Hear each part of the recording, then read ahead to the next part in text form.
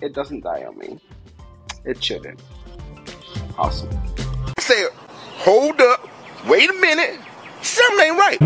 what I do.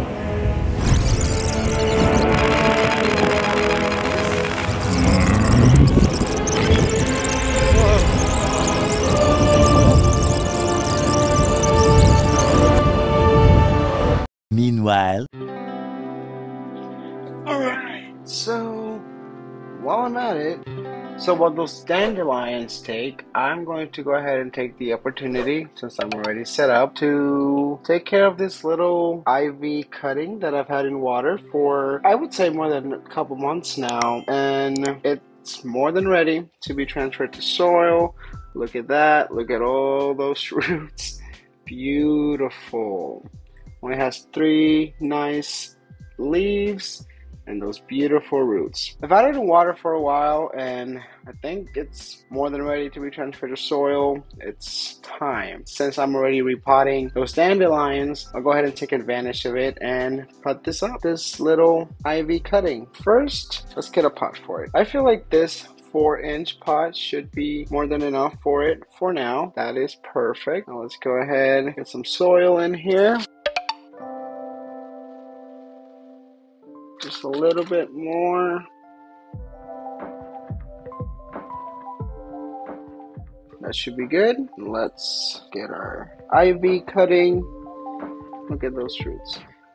It's been in water for so long that it's starting to get a little bit of a green color. Algae starting to grow on there. Maybe it's because I haven't changing the water out as often. but yeah, it's ready to go in soil. So let's just put it in there. All those roots. Look at that. Oh, that's pretty. And now let's get some more soil and top it off.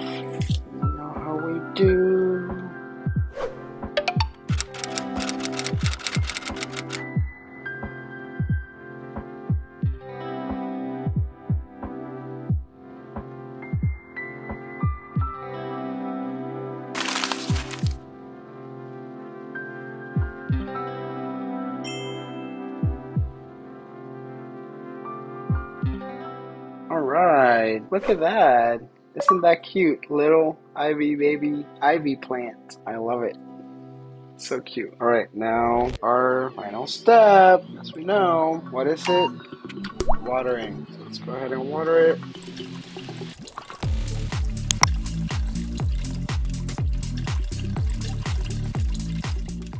Need to water it well so it acclimates nicely and comfortably. Doesn't get stressed. Oh yeah, plants get stressed. Oh yeah, they do. It's not just a human thing.